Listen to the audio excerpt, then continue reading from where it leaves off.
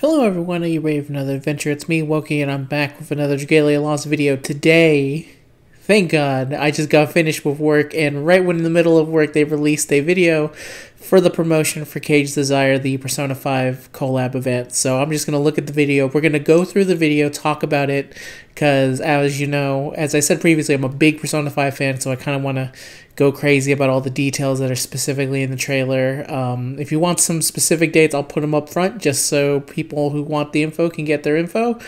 Uh, the event starts January January 30th and it goes to February 11th. It's if I'm gonna assume there might be some free multis. There's some other stuff to look at too, so we'll look at that stuff after we go through the video. But that's when the event's officially coming. So we're gonna look for this video. Get I'm gonna get a little hype about stuff and hopefully I don't get copyright struck. That's gonna be today's video. Hope you like. If you do, leave a like, comment about who you're looking forward to, who you think is gonna be the free unit, because that's definitely something of the four. I feel like it's down to. Actually, I think honestly it could be any one of them, and I'll kind of explain as I see some of them. So let's get into it. Let's start the trailer. Let's roll. All right, so here's the start. I am gonna pause occasionally through it, so Ladies and gentlemen of Dragalia Lost, did we startle you? The Phantom Thieves of Hearts are here to change hearts and something else. And then we get a cool logo here and we reveal the four characters.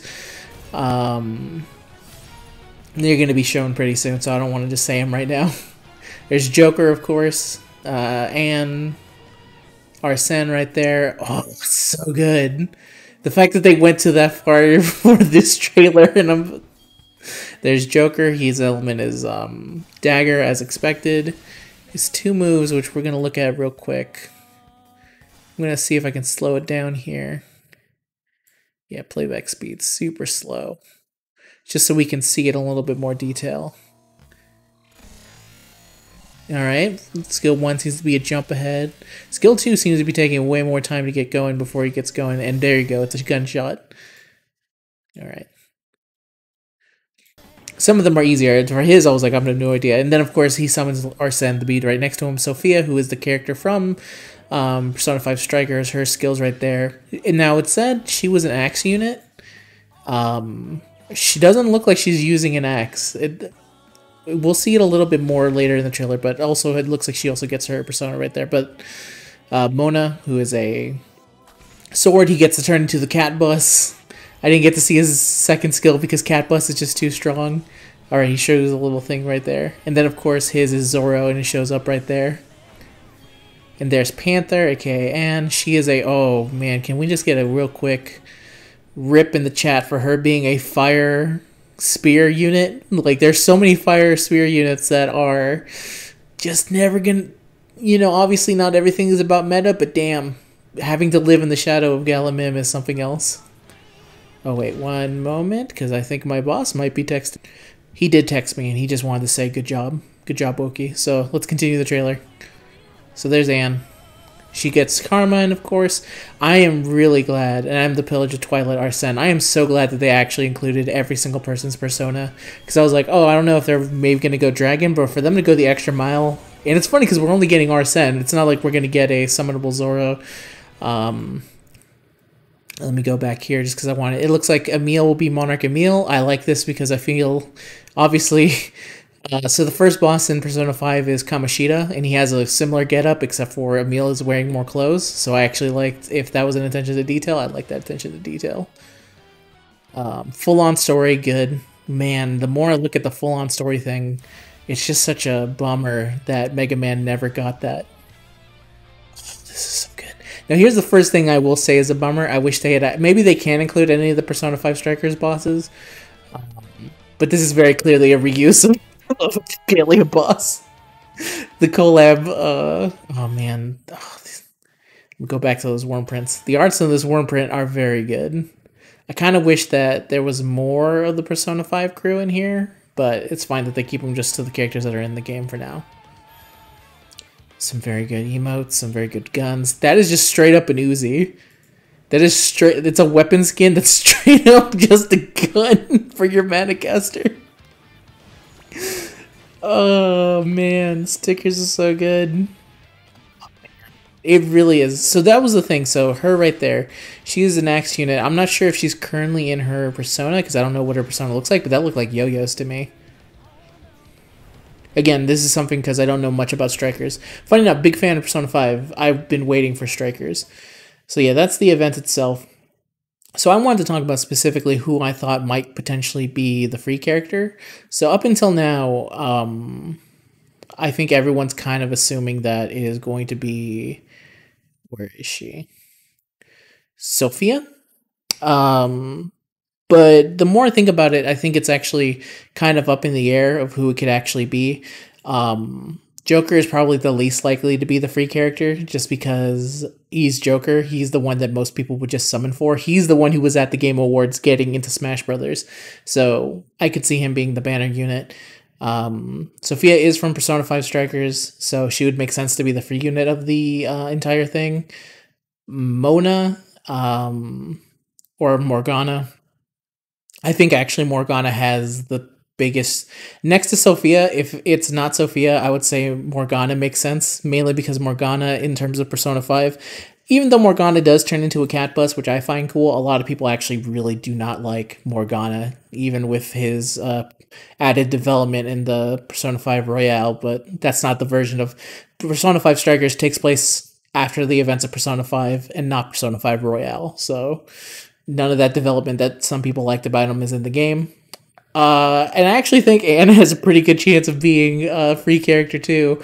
My reasoning is is that why the hell would you make another Fire Spear unit as a banner unit? Stop releasing these. Um, it's really funny. I think really Fire Spear has maybe some of the some great women behind them, and every single one of them.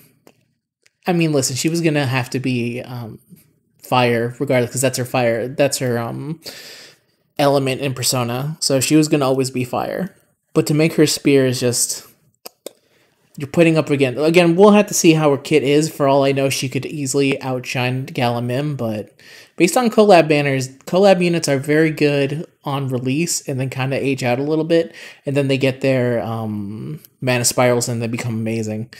Um don't know if that'll happen to these, but I actually think that she has, after seeing what element they gave her and what weapon, I think she has a pretty good chance of being the free character too.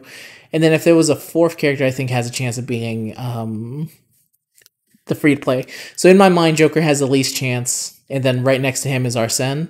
Um, if Arsene was someone that you could be to the side of you, um, I think they would make him a gotcha summonable unit, but because it's Arsene is someone you turn into, um, I think that actually makes it so he could be a free dragon or something, and then they make all the banner characters. The only thing that I think goes against that exact train of thought is that um, if you get sparking, there's a zero percent chance that you'll get a good dragon. I think.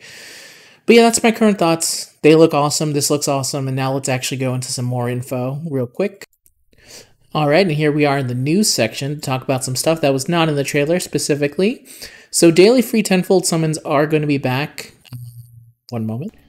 The, the roosters were freaking out. Anyway, the daily 10 free summon will be coming back. Um, a daily free tenfold summon event, which will allow you to perform a tenfold summon on the applicable summon showcases for free once per day, starts on 130 at 222. So, event duration is from 1.30 to 206. Showcases available during the daily free 10. So I think that Persona will probably be a part 1 and part 2 just because they're saying showcase available during the daily 10. Hmm. Maybe it will just be one actually. Who knows? You can perform a tenfold summon on the free on the up applicable summon showcase once per day, each day from 10 p.m. to 9:59 p.m. The daily free tenfold summon resets each day at 10 p.m. For more information about summoning, check here. Um, I don't know if they can make a part two. I mean, assuming there's. Mm, have we had four featured in a while that's not been a gala? It's been a while, but they might for collab. Who knows?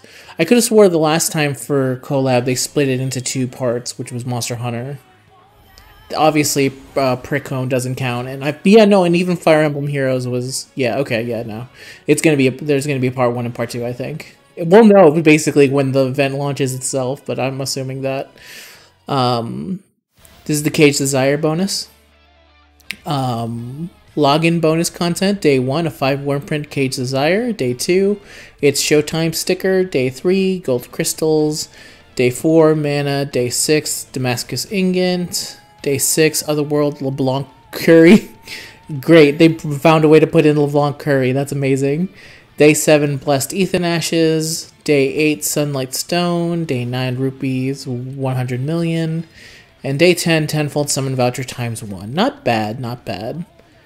Um, and then Cage Desire upgrade events. Double drop rates, half stamina, which is going to be good for people who are just joining in. Avenue to power. Special adventure gates for every element. Okay. Also, this does take place. 130 is five days after the update comes out that lets us have um, that will have the summon available for people who are brand new to the game. So that's very good for people who are re-rolling or looking to start the game fresh. Uh, and I'm excited. It's gonna be what? It's gonna be eight days from now. So, and I'm pretty sure this starts the same day as the um, as the Dokkan anniversary as well. So I'm to be very, very, very, very torn apart in terms of summons. But hey, I'm extremely excited. I hope everyone else is. Ooh, man, this is my time. This is the time to shine. I sure hope I don't get screwed over because, man, Valentine's is going to be coming right around and it's going to have limited units. And now I know what you're saying. What potential Valentine's unit could they offer to me Wokey that would be that would go above Persona 5. Persona one of my favorite JRPGs out there. The answer is if they have Valentine's Day Mym.